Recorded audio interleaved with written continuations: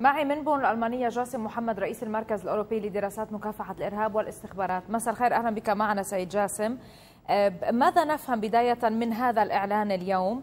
آه، تأثرت الدول الأجنبية؟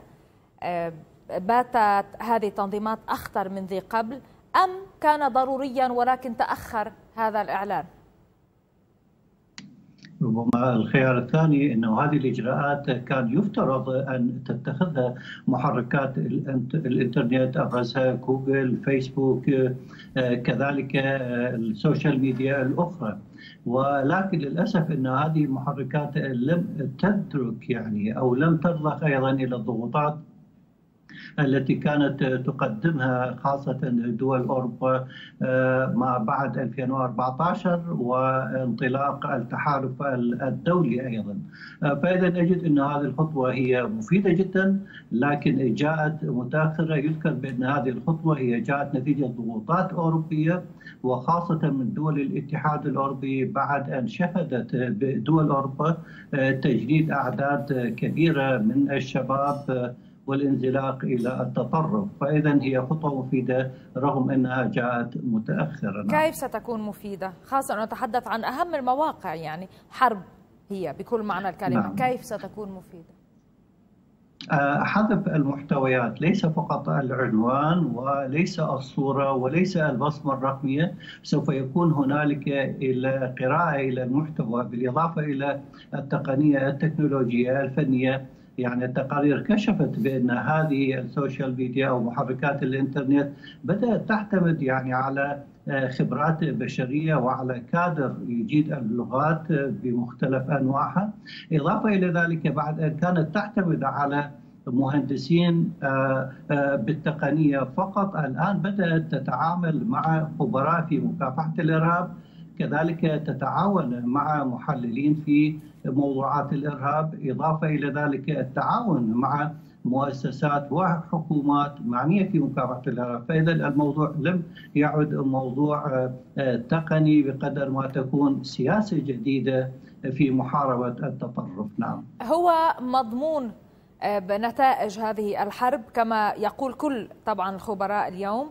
آه، ورأيك بهذا الموضوع طبعا سيد جاسم ولكن فيما يتعلق بالوقت يستغرق الكثير من الوقت أم ليس بالضرورة خاصة بعد ما نتحدث عن هذه الشراكة.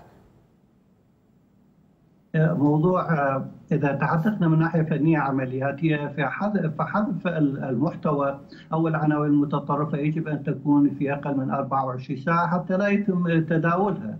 ولذلك كانت هنالك أيضا اصدرت قوانين من دول أوروبية بأنها سوف يعني محركات الإنترنت عندما لا تقوم بحذف المحتوى خلال 24 ساعة تكون هنالك غرامات وهذه الغرامات المالية تقدر بالملايين. فلذلك يجد أنه موضوع الوقت أيضا وحذف المحتويات بالسرعة بالتأكيد راح يكون واحدة من الأولويات اللي يتم الاتفاق عليها ما بين الحكومات ومحركات الإنترنت. نعم. أها. يعني في بس اللي أتأكد من حضرتك في موضوع الحرب بأكملها أنا أتحدث ليس فقط يعني كم تستغرق البيانات والمعلومات وحذفها آه، بأكملها. وكيف بالتالي ستكون انعكاساتها على يعني إنها ستتم طبعا بموازاة هذه الحملة العسكرية ضد آه، هذه الجماعات الإرهابية بأكثر من منطقة طبعا؟